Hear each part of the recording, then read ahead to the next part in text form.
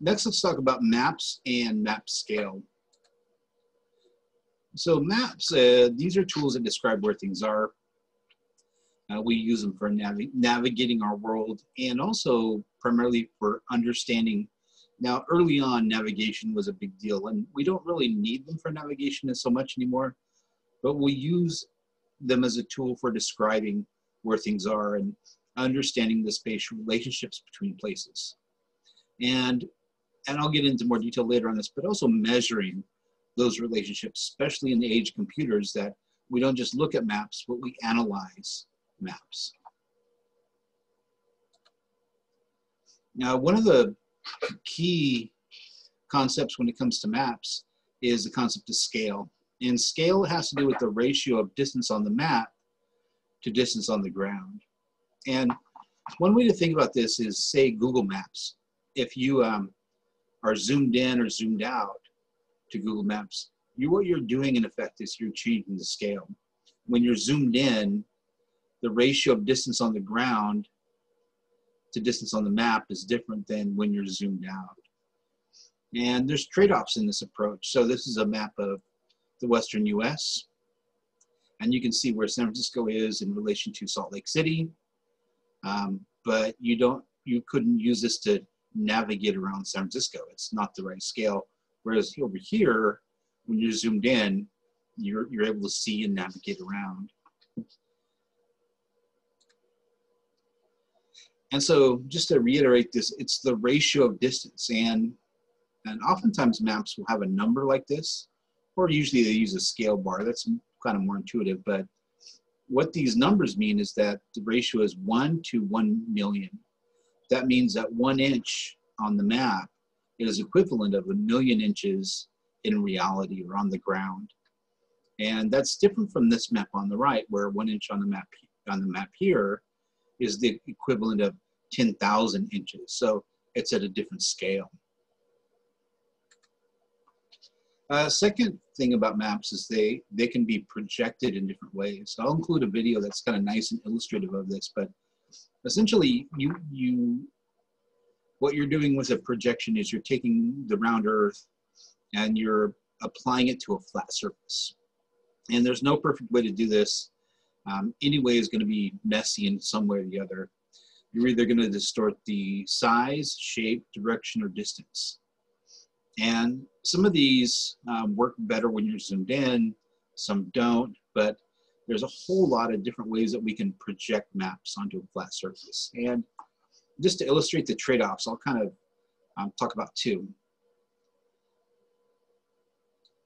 So we can talk about equivalent versus conformal. And Equivalent is a type of map that the, the areas are correct. We also call these an equal area map. So here, Greenland is the right amount of area, but its shape is not correct. So it preserved area, but distorted the shape. And on the right is a conformal map. And here, Greenland is the right shape, but it is the wrong size. It's showing it, this is what they call the Greenland problem, where a map like this shows Greenland is exaggerated to the point that it looks like it's as big as South America, which in reality it's not. It's much tinier than that. So we have equivalent on one extreme and conformal on the other. Um, for practical purposes, we often use what's called a compromise projection. These sort of balance those two out. They're not equivalent or conformal, but they're a, kind of some reasonable compromise within, between the two. We can also look at types of maps that, you know, depending on the purpose that you're using them for, there are reference or general maps. These really are about navigating and telling you where you're at. So Google Maps is a good example of that. Google Maps is really about getting around your world and understanding just where things are in general. And the second type is called thematic maps. And these convey data like population or wealth or vegetation or whatever it is that you're studying. Let me just kind of give a couple examples. Uh, this, this is a reference map of Europe. And one thing I'll highlight is that Portugal is in green and Spain is in yellow. And that's not really significant. They are colored only to kind of illustrate those boundaries. Whereas in this thematic map, you have uh, the colors are coded to the economic wealth of the country. And so here, the United States is in green and Mexico's in yellow. And here that's significant because that's kind of tied to some kind of uh, classification system for the country. And there's different types of thematic maps, as we call the choropleth, which uses color coding. Uh, here's a second example called it is, isarithmic that uses uh, different levels of shading. In this instance, to show you where there's uh, different levels of population density. Uh, one thing I'll highlight is that there are dense populations of people in India and China, which are two of the largest, the two largest countries in the world. You can see that through the shading here. A lot of people packed in there. And just to kind of go back a step, that this is really kind of a hierarchy. And I'll use a contour map as an example. A contour map is a map that has lines of equal elevation. And you can kind of imagine that's a little volcano there, that's a volcano. And you can kind of see the 3D, um, you can kind of imagine this in three dimensions because of seeing these lines of equal elevation. Now, so we have general maps and we have thematic maps. Thematic maps, again, convey data. They can convey data in different ways. A choropleth uses coloring, is, is uses shading, and we have something called an isoline map that uses lines of equal value.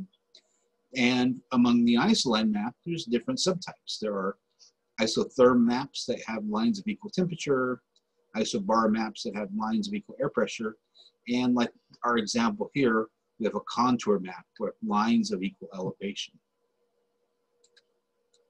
All right, so maps have themes and in with the computerized environment, we can really unlocks our potential to, to put more than one uh, theme together at a time, to put multiple themes of information, be able to study and use those at once. And that gets us into the realm of what's called GIS, or Geographic Information Systems. And what these do is they integrate digital map, and they integrate map information in a digital environment to database records. And so you have the, the visual capability of maps tied to the, to the power of databases for analysis.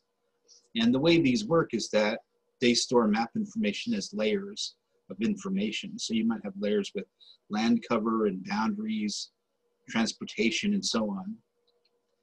And you have both map features, things that elements that are on the map itself, but also you have what are called attributes. You have database records that are tied to the elements on these maps. So these are not just pictures of maps. These are digital, um, these are really just sort of digital objects that have both properties of maps and also database records. And that gives you a lot more power of analysis. And I'll include some additional information, but I just want to illustrate that here's just a couple of examples. Here is Maybe this would be a GIS for looking at a park. You have land ownership, forest cover, soils, and so on. And on the right, this may be an example of looking to where to open a business. You have population, stores, land use. So GIS is important not only in physical geography, but also in economic or human geography as well.